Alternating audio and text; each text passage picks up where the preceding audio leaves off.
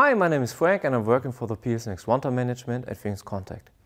In my previous tutorial videos, I already introduced you in the basic ideas of the real-time data logger, how you can configure the data logger and how you can read the values from your PC.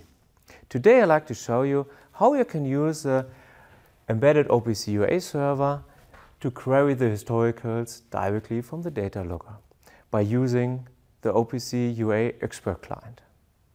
Now let's have a look on my screen. Let's go back to the PLCnext Engineer application I used last time. As you might remember, was the application quite easy. There's a program called Generator which just changes a few values, counted up, down, change a few strings.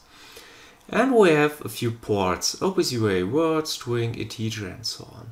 And all those ports are recorded from the data logger. So, to make it available for OPC UA, you have now set up the OPC flag.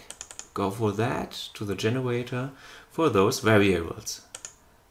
This one, this one, and maybe also the tick count here.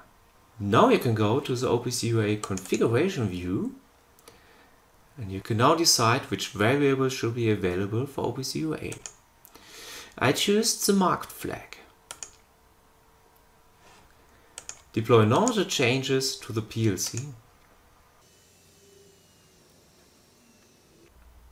After downloading, other OPC UA items directly available. We can check that quite easily with the OPC UA inspector.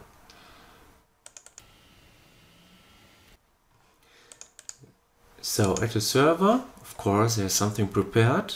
Choose the IP address and the kind of the server, configure the username and press OK. Go to the server, connect, you are asked for the user credentials.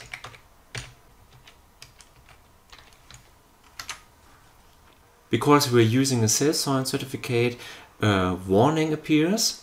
We just say, yeah, we accepted for this session and continue. The warning we can ignore. So here you can see the variables we have. And let's start with this one. This is a normal variable.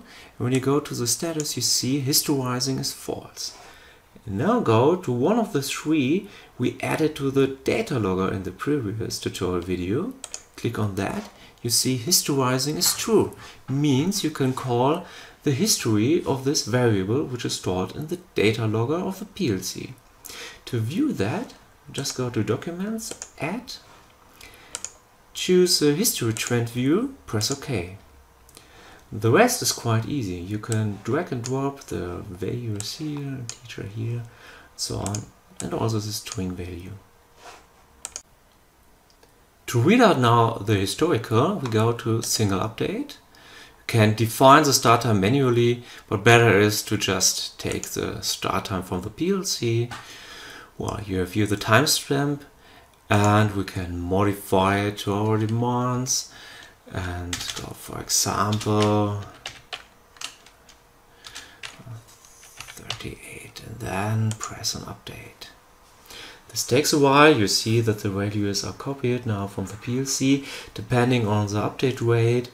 And the store uh, this could be quite a lot values. And you see here all the historicals.